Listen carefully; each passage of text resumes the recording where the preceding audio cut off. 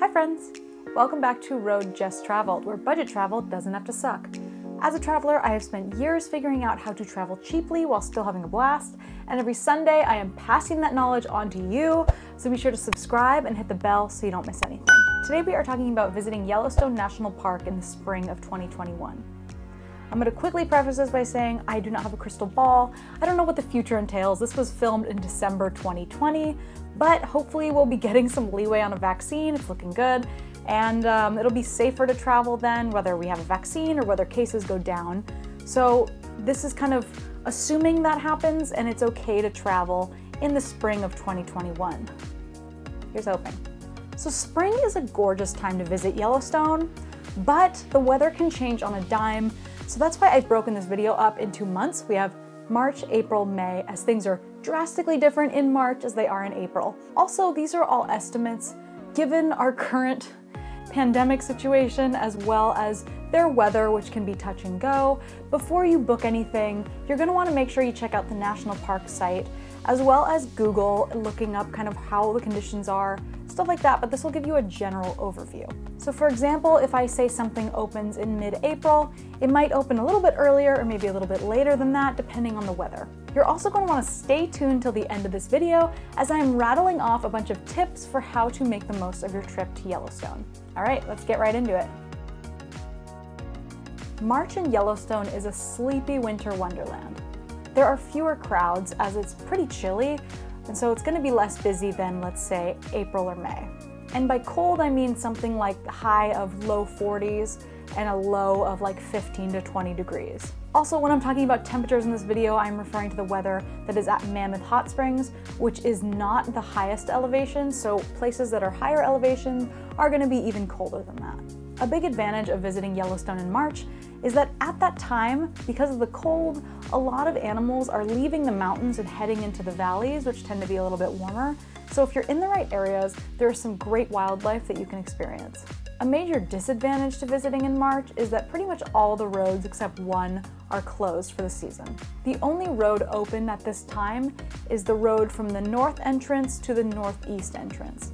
It's also a very transitional period for the park as the winter activities start to come to an end and the park gets ready for the summer.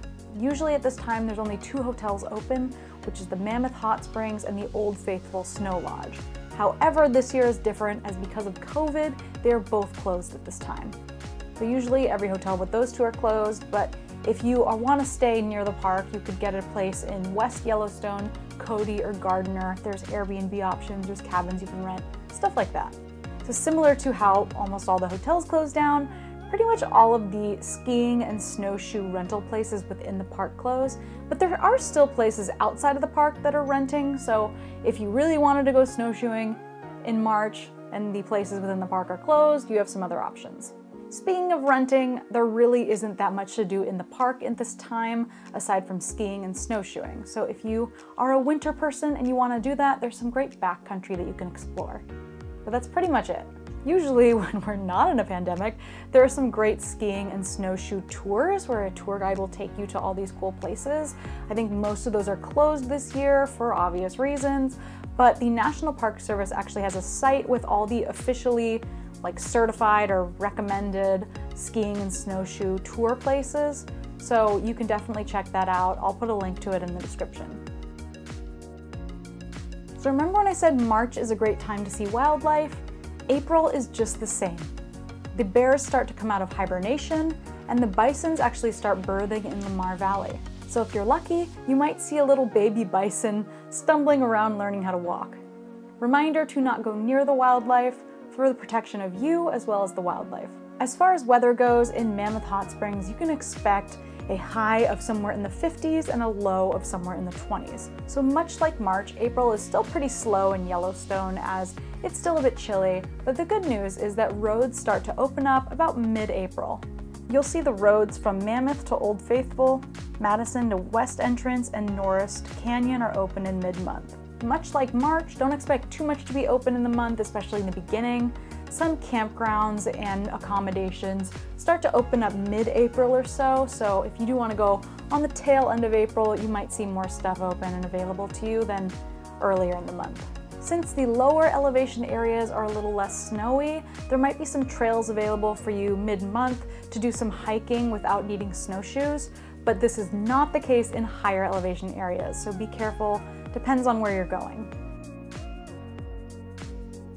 Now, if you want to visit Yellowstone in the spring and you want lots of stuff to do and nice weather, then May is the time for you to go. Of course, you will see more crowds in May. You will probably see higher prices with accommodation, but that's for good reason. Elk start being born in the Mammoth Hot Springs area. In Lamar Valley, bisons are still calving there too, and there's gorgeous wildflowers that start to blossom.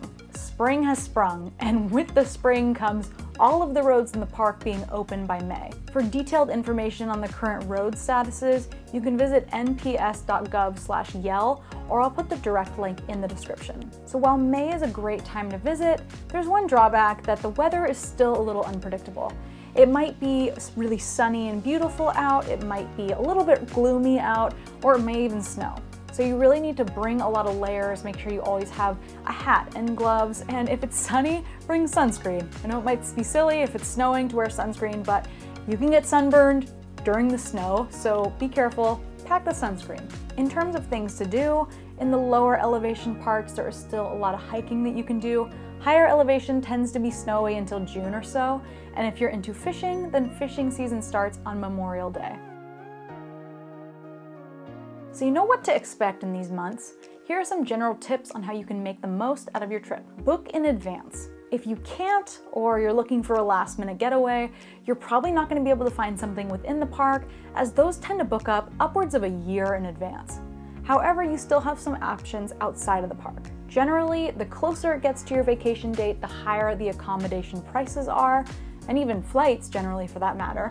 So you're gonna wanna book your trip as soon as you know that you wanna go to Yellowstone. I know I've talked about this before, but if you don't know, you can actually download maps to your phone, which includes all the little things you've pinned. So if you wanna go on the Google Maps app, pin a bunch of stuff you wanna do, you can download that and then you have it, which is great if you don't have cell reception, which spoiler alert, there's very little to no cell reception in the park. Speaking of cell reception, for those that are a little more on the high maintenance side, you'll want to know that the accommodation within the park is a little rustic. I'm talking slow Wi-Fi, no TVs in the room, and no air conditioning. Luckily, the air conditioning is not really a problem in the spring, and you're in Yellowstone. You don't need to watch TV, but just something to note if you if those things are important to you. If this is a complete deal breaker, there are plenty of options for you outside the park in terms of hotels, Airbnbs, stuff like that. Yellowstone is huge, I'm talking overwhelmingly huge. So if you're visiting for a week, you might not be able to hit up all the stuff that you want to hit up. So you're going to want to really prioritize your must-dos and then your would-be nices. What I usually do is I make a list of things that like I would be really upset if I didn't do, and then I make a list of like if I have time, this would be nice. Then if you have an extra few hours within your schedule, you can squeeze in a little would be nice. So speaking of plotting out your time, I have said this before, but I highly recommend taking like 20 to 30% of your time on your vacation and leaving it blank. Don't make any plans, just in case something runs over and you think, oh, this is gonna take an hour or two and it takes four hours, you got a little wiggle room. And if you come across something while you're on your trip that you're like, oh my God, I would love to come back and check that out, then you have time for it. This will help you enjoy little spontaneous discoveries and not be so stressed out about time on your trip. If you want to see some wildlife, your best bet is to go either at dusk or dawn because at sunrise and sunset is when a lot of the animals are active and looking for food. The two places that you'll likely see the most animals in are Lamar Valley and Hayden Valley. Considering how crowded this park can get, it's worth it to get up early to see the sights. For example, if you're gonna go see Old Faithful, highly recommend you getting there by 8 or 9 a.m. at the latest, as around 10 a.m. it starts to really peak and everyone starts to get there to see the beautiful Old Faithful. If you've ever been to a big national park, then you know the lines to get food can get really, really crazy around lunchtime, and let's be honest, the restaurants and little cafeterias and stuff in these parks are never that good and they're pretty expensive. So rather than having to stop what you're doing and head to where the restaurants are, you can actually just bring your lunch and keep enjoying what's on your schedule. Like I said earlier, the weather can go from really sunny to gloomy and cold on a dime. So you're gonna wanna bring lots of layers, wear a hat, bring gloves, Again, don't forget the sunscreen, bring lots of layers of shirts and coats and stuff like that, and just make sure you're prepared for anything. Keep in mind that when you're in Yellowstone, you are in bear country. They tend to stay away from really populated areas because they're a little afraid of humans, and they're a little timid, even though they seem really scary. But you're gonna wanna have a plan and make sure you know what to do should you encounter a bear. It's a good practice to bring bear spray, never go hiking alone, and if you do encounter a bear, you kind of wave your arms up and down, make a ton of noise, and you'll scare them away. They are naturally afraid of humans, so they likely won't attack you unless you pose a danger to them or their cubs. And speaking of their cubs, stay away from baby bears, because the mothers will kill you, because they want to protect that little baby. And I get why, just like we want to protect our babies. So I want to hear from you. How does Yellowstone sound to you in 2021? Would you potentially go in the spring? Would you wait till maybe the summer instead? Or are you not really thinking of traveling to a national park or anywhere entirely in 2021 just yet? Let me know in the comments. I'd love to hear from you. If this was helpful to you, feel free to give it a thumbs up. If you're not subscribed yet, then what are you doing? Subscribe, and I will see you next Sunday. Happy travels!